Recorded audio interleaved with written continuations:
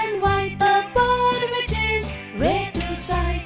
They have rosy red neck. Don't go close or they will peck.